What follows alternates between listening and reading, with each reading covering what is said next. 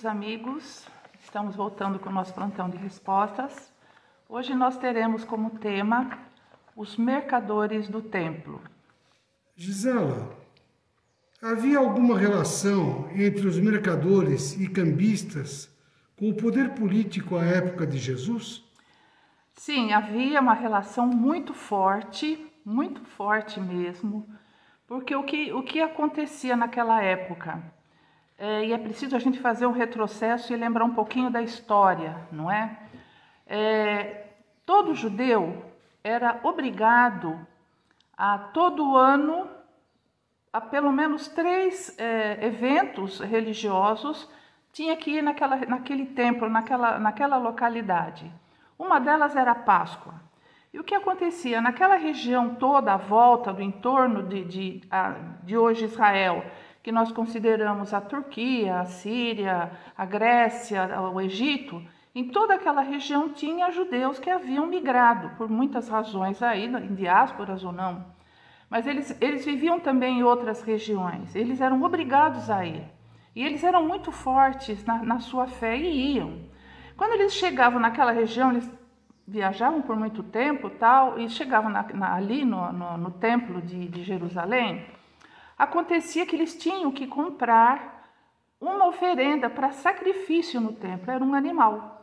Quando o animal era pequeno, era mais barato, o animal maior era mais caro. Então, quem podia comprar os, o, o maior eram os ricos, os pobres iam para as pombas.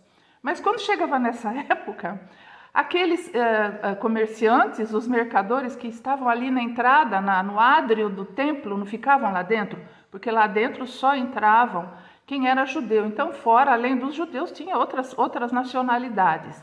Mas ali fora ficavam as bancas, as barracas, as mesas com os cambistas. O preço daqueles animais subia extorsivamente e eles tinham que comprar na moeda corrente de Israel, que era o ciclo ou shekel. É, naquela época era correspondente a uma moeda pequena de, de prata. Então, e, e aí tinha que fazer o câmbio, tinha o ágil. Então, quando eles iam para aquela região, era uma roubalheira o que tinha ali. Era realmente uma situação complicada. E mais, o dinheiro, do dinheiro arrecadado pelos uh, cambistas, pelos mercadores, uma porcentagem era dada aos sacerdotes. Vejam, não era para manutenção do templo. A manutenção do templo era feita com doações de todo mundo, tinha que doar um ciclo, ou shekel, por ano para o templo. Então o templo tinha seus recursos e esse dinheiro era para enriquecer os sacerdotes. Então era assim que nós tínhamos essa relação entre os, os cambistas e, e mercadores e, e os sacerdotes. Qual foi a reação de Jesus ao ver no Templo de Jerusalém mercadores e cambistas? Bem, naturalmente Jesus já sabia da, daquela situação, né? Ele sabia, mas ele precisava aproveitar aquela oportunidade que era uma das últimas que ele teria para ensinar, ensinar alguma coisa. E Jesus ensinava principalmente em aulas práticas. Era, era a didática de Jesus, eram aulas práticas. Ele mostrava para os seus apóstolos, discípulos e seguidores, pra, na prática, como se fazia a coisa. Então ele sabia, naturalmente deveria saber da existência desses, desses mercadores e cambistas. Ele, chega, ele chegando lá, ele viu aquela lambança que era aquela entrada. Imaginem vocês como os animais ali, as mesas, iam milhares e milhares de pessoas naquela época, que era da Páscoa, em que eles iriam, porque Páscoa é uma festa judaica, não tem nada a ver com cristianismo. Mas é, esses é, judeus, não é, eles iam ali é, aos milhares e milhares e, e, com aqueles animais, aquela bagunça toda. Imagina Jesus chegando ali, Jesus ficou indignado, ele mostrou indignação, né? Aí ele ficou realmente muito, muito brabo com a coisa. E qual a razão de Jesus ficar tão indignado? Olha, a razão Jesus propriamente diz, ele mesmo diz uh, ali, que a casa dele era a casa da oração. Isso está nos quatro evangelhos. Olha, essa parte do, que fala dos vendilhões ou os mercadores ou os exploradores do templo, a gente vai encontrar nos quatro evangelhos, ou seja, fortemente isso aconteceu, não é? Com certeza. Então, ele, ele mesmo viu aquilo e, e naturalmente, uma casa, um templo que se preze não pode ter comércio. É, foi, foi essa a reação dele quando ele disse: A minha casa é a casa da oração e, no entanto, ela se tornou um antro, um covil de ladrões. Foi essa a reação de Jesus. Jesus foi mesmo violento nesse episódio? Qual foi sua mensagem? Olha, há quem diga, né, existem interpretações de que Jesus, enfurecido, pegou um chicote e saiu batendo é, nos mercadores e tudo mais. Não, nada disso. Jesus não era manso, aliás, ele era manso e pacífico, mas não era bobo. Então, ele era enérgico, mas não era violento. Até porque nós vamos encontrar em outras passagens dos evangelhos um Jesus dando bronca, até nos apóstolos, ele chamava atenção, puxava a orelha ali, é, em termos figurativos, né? Ele era brabo mesmo, ele falava, mas com energia. Nunca, e não consta nos evangelhos que ele tenha é, saído da, da linha ou, ou comprometido a mensagem de paz. Em nenhum lugar nós vamos encontrar isso. Jesus, ele, ele utilizou isso como um ensinamento e ele, vejam vocês que ele, olha só a autoridade moral que tinha Jesus.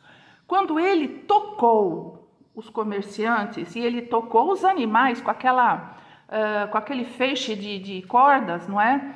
Ele tocou os animais com aquilo. O que eu estou dizendo está em estudos teológicos. Né? A gente encontra em várias fontes, existem explicando exatamente o que era isso aí. Era um feixe de cordas. Ele tocou os animais. E então ele tocou as pessoas, os comerciantes também. Esse, Jesus tinha tanta autoridade moral que eles saíram sem reclamar. Eles não se revoltaram, ficaram quietinhos e foram saindo. Então veja a autoridade moral. Ele mostrou ali que ele tinha muita autoridade para fazer isso daí. Longe da violência, nada disso. Houve alguma consequência disso? A situação de Jesus como perseguido pelo Sinédrio? Veja, o, o, o Sinédrio já estava de olho em Jesus, já estavam planejando acabar com Jesus pela morte mesmo, não era só prisão, porque Jesus tinha um poder, ele tinha um, um magnetismo de atração das pessoas, do, da sua mensagem, dos seus ensinamentos, ele convencia, ele, ele ia até o coração das pessoas e ele era considerado um, perigoso pelo Sinédrio, porque mexia com o poder daquela época, né? Então a gente falou que havia uma ligação é, é, econômica, financeira daquele comércio com, com os, os religiosos, líderes religiosos dali. Por quê? Porque eles iam, se, se o povo fosse embalado e, e, fizesse alguma revolta contra o Sinédrio, eles poderiam per, perder, é, perder o, o, o, seu dinheiro né, o, e o seu poder. Então, Jesus era uma ameaça para eles e isso iria uh, prejudicar muito. Foi a partir daí que eles então planejaram definitivamente a, a sua prisão e viria depois da sua execução num, num, é, num julgamento ilegal. Foi ilegal, todo o processo, todo o julgamento de Jesus foi ilegal diante das leis da época, das leis que reinavam, que imperiavam naquela, imperavam naquela região, naquela época. Trazendo esse ensinamento de Jesus para os dias de hoje, Há que se preocupar com as relações entre religião e dinheiro?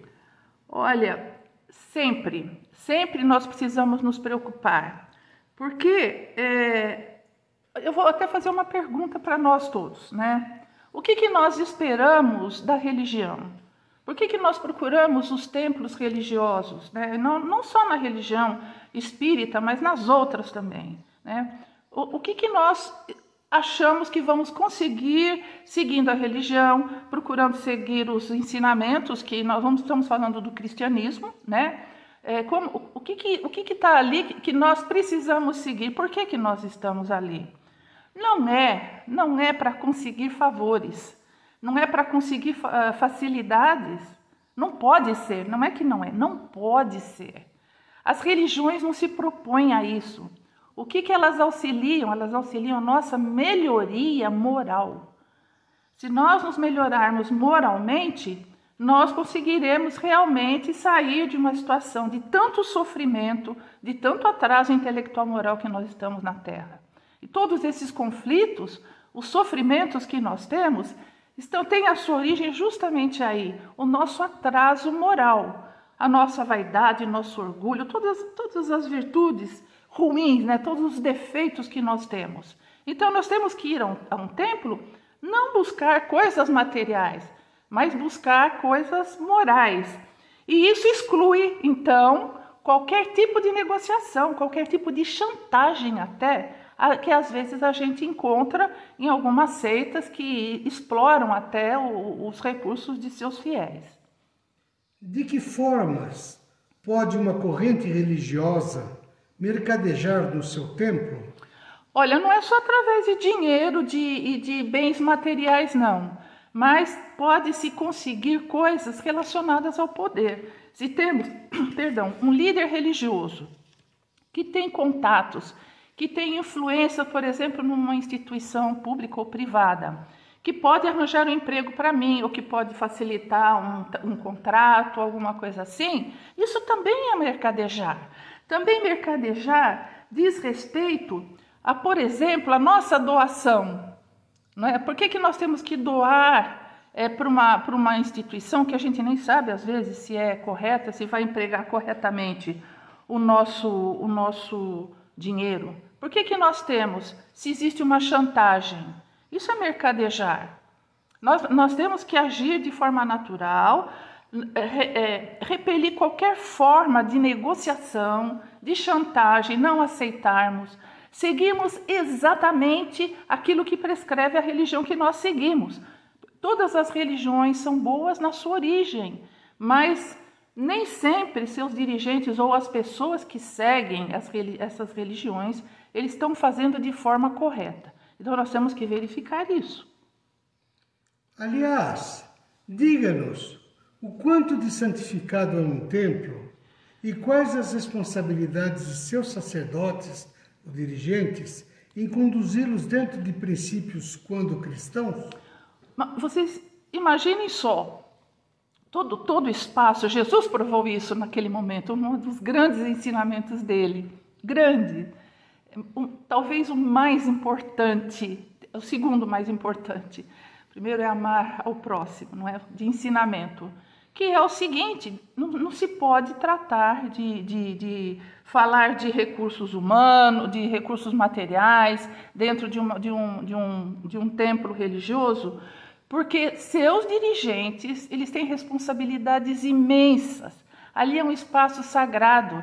Esses dirigentes foram preparados, às vezes, durante várias existências, isso para qualquer religião, ainda que não acredite na reencarnação, tá?